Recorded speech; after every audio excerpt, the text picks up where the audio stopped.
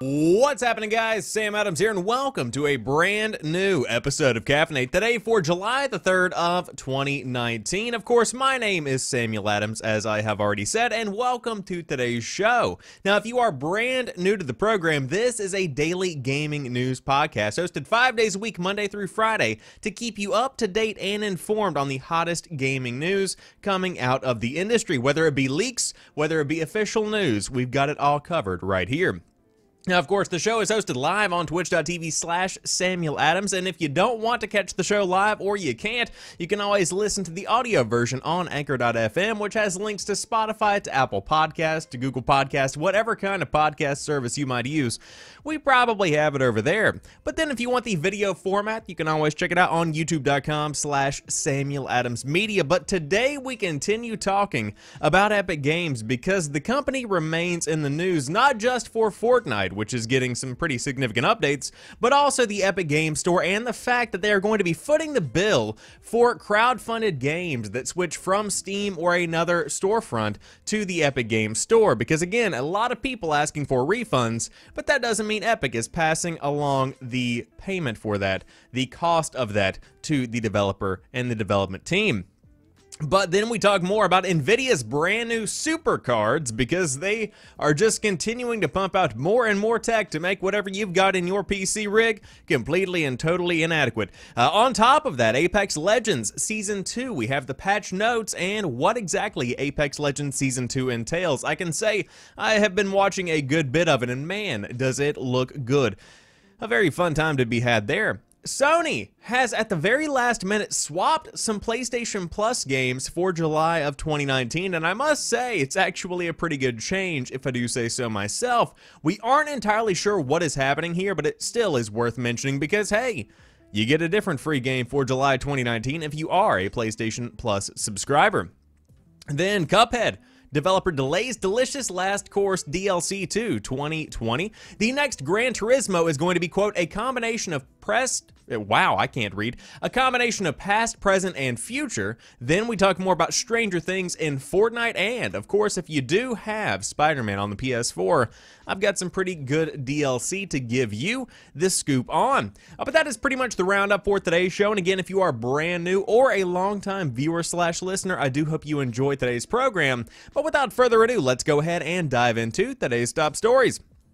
First off, Epic Games will foot the refund bill for Shenmue 3 and future crowd-funded exclusives, according to Tim Sweeney himself.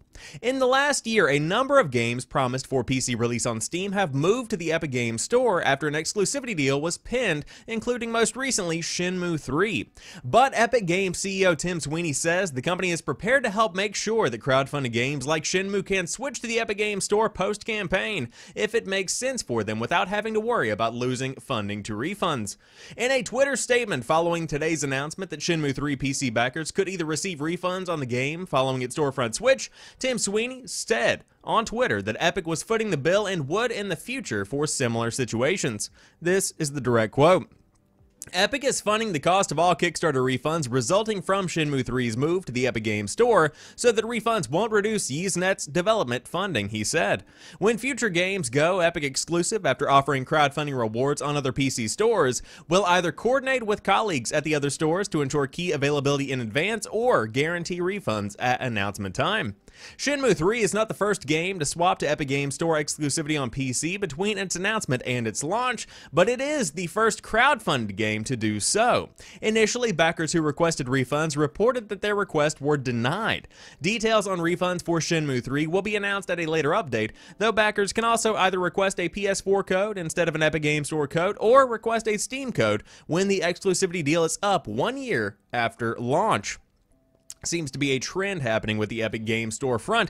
Uh, but this is a different situation. Now, if you've been following along with the trend of this kind of situation happening in the industry, uh, traditionally it has been a situation where it wasn't necessarily a crowd-funded game. Now, at the same time, uh, there have been instances in which the switch has been made at the very last minute, where all of a sudden something goes from being available on Steam one day to being available on Epic the next day, such as in the case of Metro Exodus, which was not exactly the best best case for many people that had already pre-ordered on Steam. Of course, they still got their games, but it still makes for a weird marketing situation, and it's not really a good look. Uh, but this is a different situation entirely because number one, Shenmue 3 has been crowdfunded from day one. I mean, whenever the guy came out on stage at E3 and announced that Shenmue 3 was happening and it had to happen through the community, that changed things a good bit. And so, throughout the entire development cycle, people that have wanted the game on PC have expected the game to be available on PC. And so, if they want it on Steam, they kind of need to have it on Steam.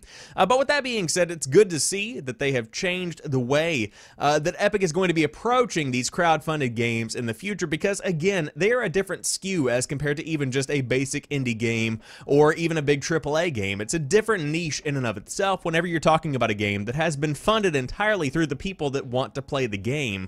Uh, it just kind of puts a different skew on things. But with that being said, you might need a new card to play whatever game you might be getting on the Epic Game Store front, and now you can get the NVIDIA Super Editions of various models of its RTX graphics cards with the dates and prices revealed as well. They are faster versions of the 2060, the 2070, and the 2080 GPUs, and they are all coming in July and they are super prices as well. Yesterday, NVIDIA officially revealed its Super Editions in the RTX 20 series family, less than one year since the RTX series first hit the market. Aside from a sleek chrome finish, the Super Series differs from the now base RTX 2060, 70, and 80, mainly in terms of performance, but also in price, certainly where the 2060 Super is concerned. The 2060 and 70 Super models will launch on July the 9th, with the 2080 Super arriving on July the 23rd. There won't be overclocked versions of the new Super graphics cards, but Founders Editions will be available online when each one releases. In terms of hierarchy, the 2080 Ti is still the best graphics card in the RTX family, and the RTX 2060 is still the entry-level ray tracing GPU. The rest of the Super cards are staggered between the original 20 series, and no, there won't be a 2080 Ti Super, because the 2080 Ti it's super enough. But according to NVIDIA, how the performance will break down is as follows. The 2060 Super is up to 22% faster than the base model of the 2060 with 8 gigs of memory instead of 6, and it is faster than the GTX 1080 and has nearly identical performance to the RTX 2070. The MSRP for that one, the 2060 Super, is 399. The 2070 Super is up to 24% faster than the base model of the RTX 2070 for the same price, and it's also faster than the GTX 1080 Ti for 499. Now the 2080 Super, which again comes out on the 23rd as compared to the 9th of July for the other two models, is a little bit beefier.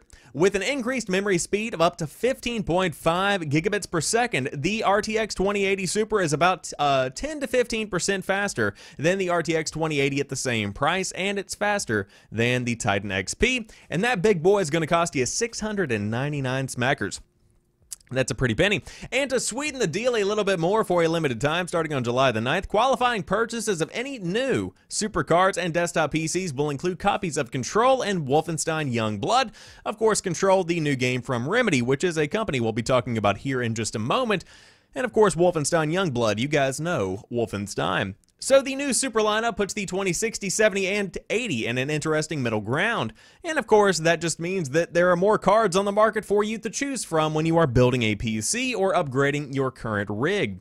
Uh, so, Kind of shocking to see these being revealed. Of course, it's just a year into the life cycle. In my machine, personally, I have a 2070, and I have no intention of upgrading to the 2070 Super or the 2080 Super or even a 2080 Ti because the thing about PC gaming is that you can do it however you want to do it. You can be who you want to be, B-A-R-B-I-E. Barbie girl. Uh, no, but sincerely, you can have a low-end PC and still play games. You can have a high-end PC and still play games. Whatever kind of experience you want to have, whatever kind of budget you might be working with, you can make it work in the PC space. And so these supermodels are probably for those that want to kind of take their game to the next level, but that might not want uh, the best of the best, the pinnacle of what is available, the 2080 Ti. Uh, but again, they are catering to a very wide audience. For me, I am happy with with very high settings. If you're on a scale of low, medium, uh, high, and then and then ultra or whatever, I'm I'm a high kind of guy, and so that's kind of where I tend to sit. I don't need the best of the best as long as it's over 60 FPS. That was a rhyme. I can do them anytime. Uh, but if you do want to pick up the Super Card, again, they are launching on July the 9th for the 2060 and 70 Supermodels. But if you do want the 2080 Supermodel, you will have to wait until July the 23rd. But don't worry, the card you have now can probably run Apex Legends Season 2 because the patch notes have been revealed and Wattson, the new legend, has been detailed. A lot is going down in the world of Apex Legends, and that is, of course, the world of Titanfall. Apex Legends Season 2 is bringing with it some of the most substantial balance changes the game has ever had. Thank God. On top of rebalancing certain weapons and heroes, the patch for the new season also altered the map and even added a new legend, Wattson. Wattson is a more defensive hero than any that have existed in Apex Legends so far.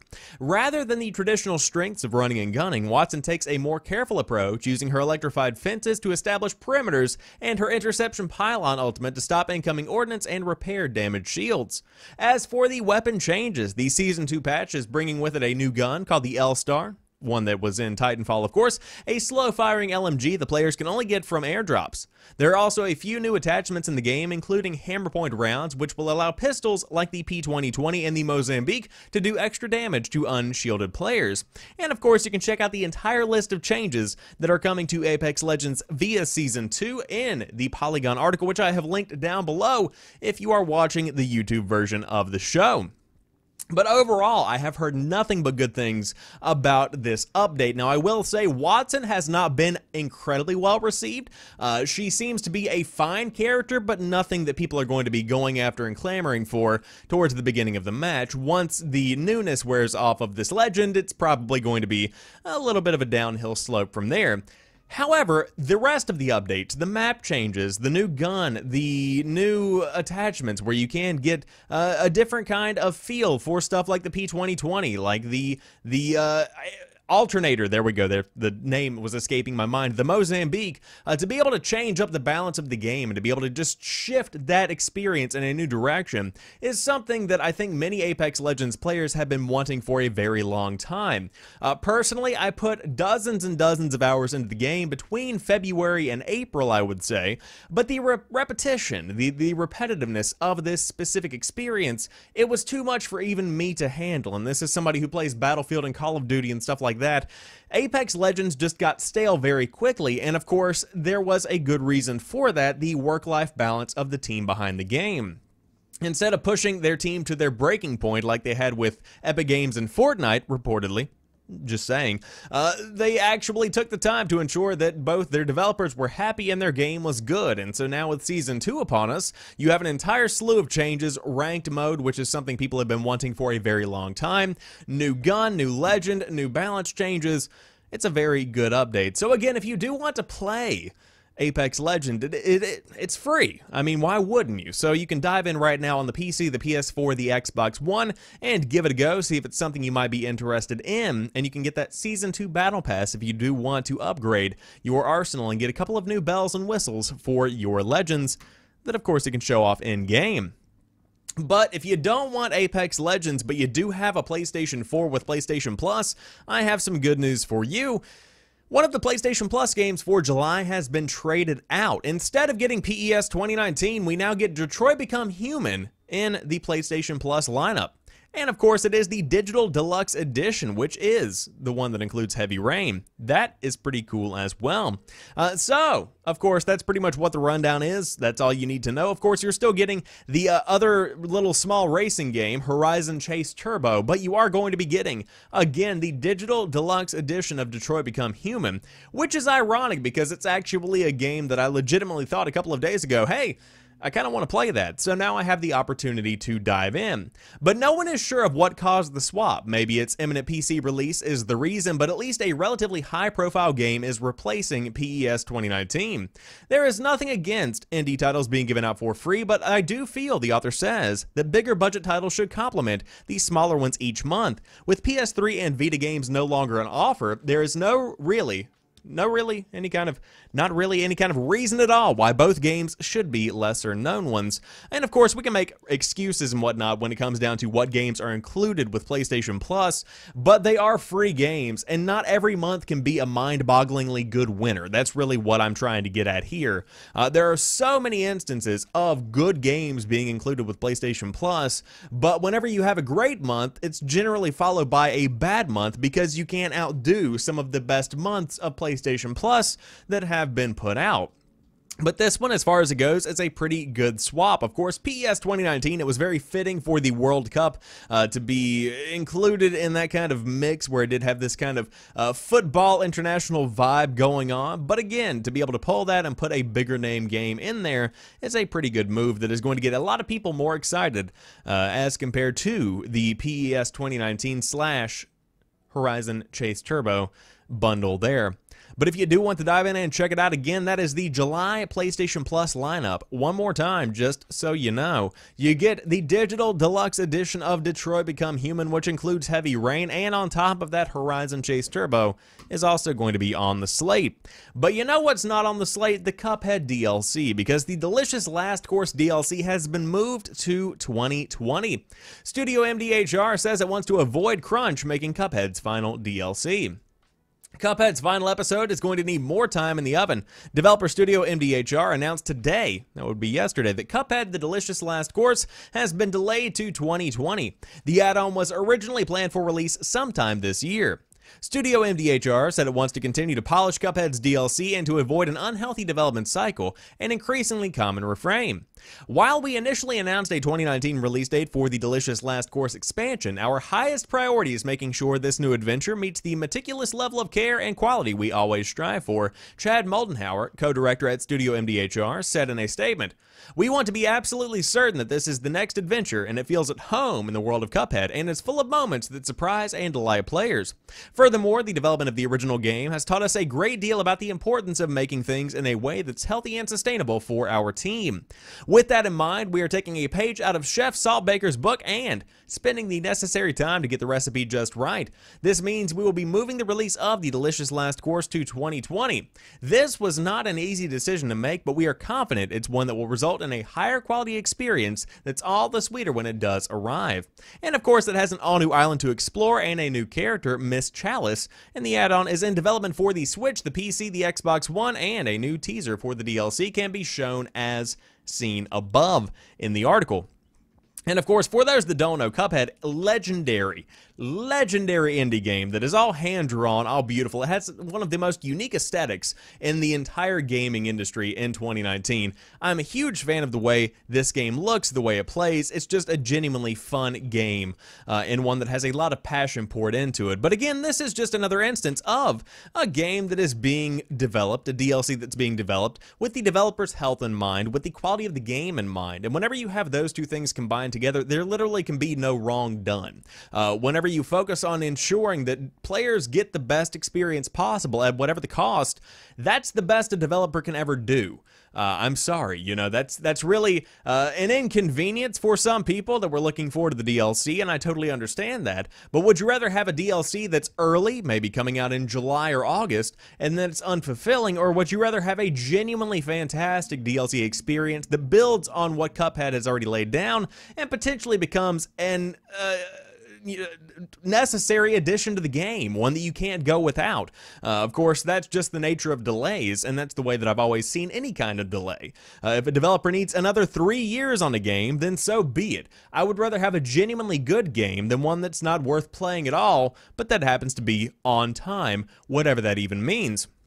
Now, I will say, if you really want to dive into it and you really want to get to the nitty gritty of it, maybe we shouldn't be talking about release dates before we know specifically when something is going to be coming out, because that puts an unfair constraint on the development team, even though somebody sitting in a corporate office somewhere might just want to release it around a holiday season or during the fall whenever most things come out to make a quick buck. That's not the way life works, Sonny. I'm sorry to be the one to break it to you.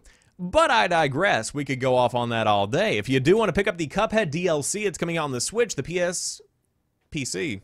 my bad. The Switch, the PC, and the Xbox One in the beginning of 2020. But Cuphead is out right now on the platforms as aforementioned.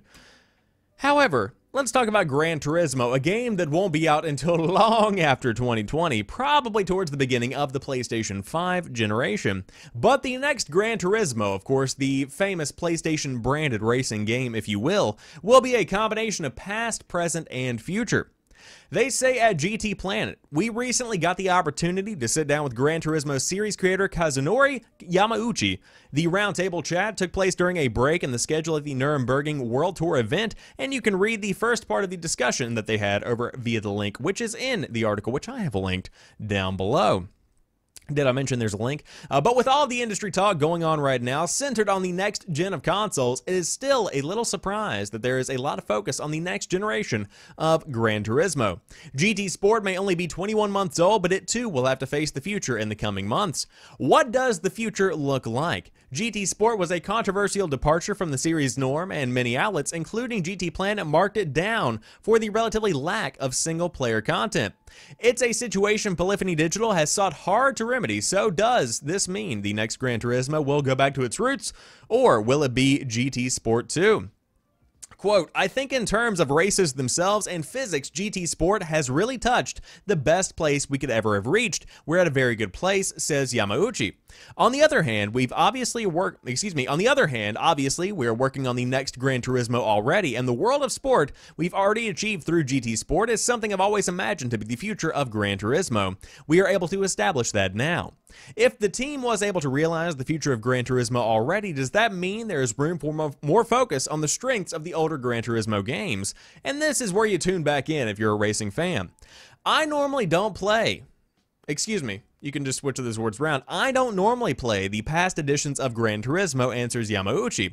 But since I started doing the world tours, the players, they're all young guys, but they all bring GT2 or GT3 with them. Like, how old were you when this came out? So I've had more opportunity to play them recently, and it's surprising how much I have forgotten. Yamauchi muses that perhaps his ongoing curiosity and pursuit of the future means that sometimes he can forget the past, but clearly the players and fans don't. Having done all these world tours, it gives me the opportunity to feel the history of Gran Turismo, he adds. It gives me pointers and hints of the things we should make sure that we do in the future of the series. What does this mean for the next title, whether it's GT7 or GTS2? I think the next title that we are going to create will be a combination of the past, present, and future, a complete form of Gran Turismo, he answered answers. And of course, GT Planet does continue to go on, talk more about uh, everything that was discussed with Polyphony Digital and the creator of Gran Turismo. But interesting to hear, the future of Gran Turismo could in fact be incorporating the various elements that have made the game that it is today. Uh, but on top of that, looking into the future to see what is coming, uh, to have new ideas. This sounds like a very healthy racing game, specifically when it comes to racing games. Uh, looking at Forza Horizon Horizon specifically, the games continually build on what the originals laid down and what its predecessor began to bring to the table, and then just adds a bit to it and creates a new kind of experience. That sounds like something that could definitely uh, be a big benefit for the Gran Turismo series. Now, I will say, in a brief aside, if you haven't played Gran Turismo Sport, a fantastic racing game that one is. Now, is it on par with the appearance of something like a Forza Horizon 4 or whatever kind of other racing game you might have? Not necessarily, but it does look gorgeous. I will say continual updates have streamed through the game over the past 21 months since it has been released, and there is a huge amount of content there for racing fans. So if you do want to dive in and you are hankering for a racing game on the PS4, that is a pretty good one to dive into. But the future of Gran Turismo sounds like it's a very exciting time nonetheless, and one that I will definitely uh, be interested in whenever the PlayStation 5 does end up rolling down the pipe, because that could be probably holiday 2020, and so I would say you're going to be seeing some kind of Gran Turismo, uh, maybe even on launch, but if not then, maybe in 2021 or at the latest 2022. Again, that's a pretty wide prediction period, but hey, sounds realistic to me.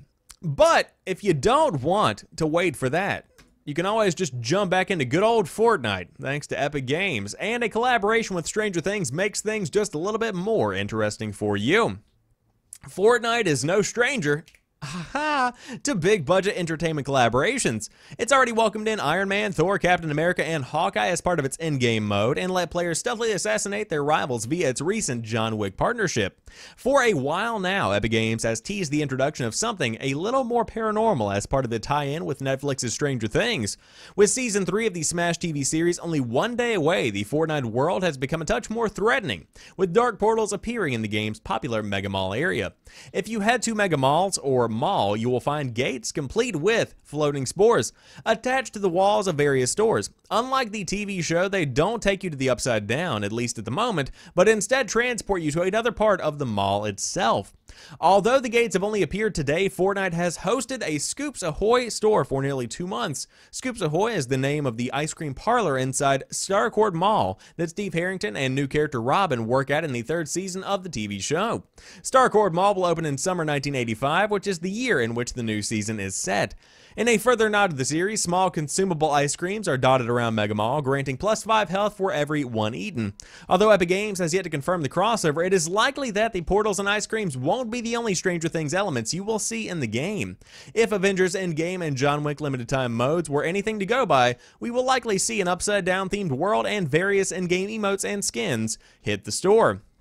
And of course, you can always hypothesize as to what you were going to be getting, but man, Fortnite does well with these collaborations. Uh, of course, again, I'm not somebody who has continued to play the game in the months and years since it has been released. I just kind of sit back and admire whenever they have a good idea. This, quite frankly, is a good idea because Stranger Things is a giant cultural phenomenon, and it's not shocking to see it bring are being brought into the world of Fortnite. Uh, but if you do want to dive in and check it out again, you can kind of look for this giant, um, let's not talk about what that looks like. You can see the thing growing on the side of many walls in the mall itself whenever you dive into a round of Fortnite or two if you do want to check out the Upside Down, which again, at the moment is non-existent, and these are pretty much just riffs, but only on a wall. But maybe you have some sense in you and you don't want to play some Fortnite, but you should be playing Spider-Man on PS4 because they have two brand new Far From Home suits available in the latest free update. Let's get it, baby. You can never truly have enough suits in Marvel Spider-Man, and while I don't ever see myself moving away from the Spider-Punk look, I like that there's an outfit for every move. This week, Insomniac Games added a pair of new suits to the PS4 game that piggyback off of Spider-Man Far From Home. This clever bit of cross-promotion is free, but in order to use Far From Home's upgraded suit and stealth suit, you will need to be far enough into Spider-Man to have unlocked Peter Parker's advanced suit. Basically, if you have made it through the game's opening and pushed a little further, you are good to go. I haven't seen the film yet, the author says, but I'm increasingly amped to see where Insomniac goes next. And of course, if you do want to check out the, uh, the suits themselves, you got some pretty cool looking uh, pieces of hardware there for you to enjoy. I will say there is the first suit, which is the basic suit from Far From Home. And if you do want to check out the other suit, that's pretty much what you can expect. Uh, but of course, big, big, big, big, big, big, big Spider-Man movie coming out for the summer of 2019, and of course one of the biggest movies of the entire year. Of what I have heard, it acts as a pretty good epilogue I believe that's the one that comes after the main event, uh, to Avengers Endgame if you do need a bit of a uh, palate cleanser, if you need to see what happens after the fact. Uh, but if you do want to just dive in and check out one of the best games on the PlayStation 4, could not recommend Spider-Man enough. It is just so pure, so good, so fresh, so clean, just like this suit that has been fresh pressed and tailored to fit you in game even if it doesn't fit you in real life. But with that being said, that rounds out today's episode of Caffeinate. Of course, if you are brand new to the show, welcome on in. And this show, again, as I said at the beginning, is hosted five days a week, Monday through Friday, live on twitch.tv slash Samuel Adams if you do want to check out the hottest gaming news of the day. But then it's on YouTube, it's on podcast services. All of these links can be found down below. But until tomorrow, you guys have a fantastic rest of your day. I will talk to you soon and Peace.